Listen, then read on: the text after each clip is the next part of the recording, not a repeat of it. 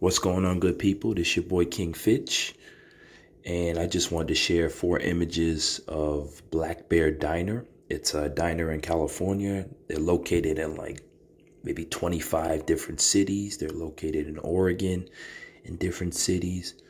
So uh, yeah, that's pretty much it. And this is a place I've been going to for the last, I want to say, six and a half, seven years you know, when you come into Black Bear Diner, they have like the old fashioned look, benches, little bear related stuff, you know, had that country feel.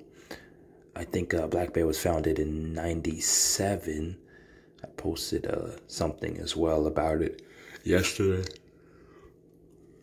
You know, they have delicious uh, cakes, pies, things of that nature. Like, for example, Oreos cookie, cookies and cream pie as well as uh, other delicious uh, eats for dessert.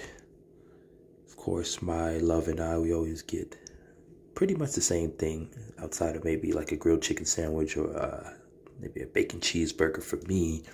So I always get the volcano, which is uh, three cakes, pancakes with eggs, sausages, and bacon.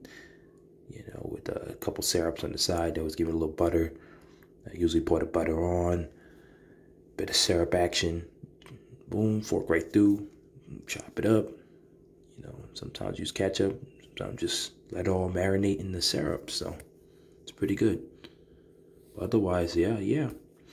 This is a Black Bear Diner. We've gone here for birthdays, our anniversary, uh, things of that nature, graduation, and all types of places. So definitely check out Black Bear Diner.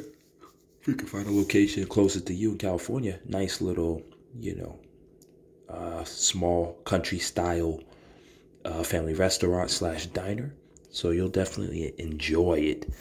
So uh, you guys have a great day, and that's pretty much it. King Fitch signing out. Don't forget to like and subscribe. Thank you. Fitch, don't forget to like and subscribe.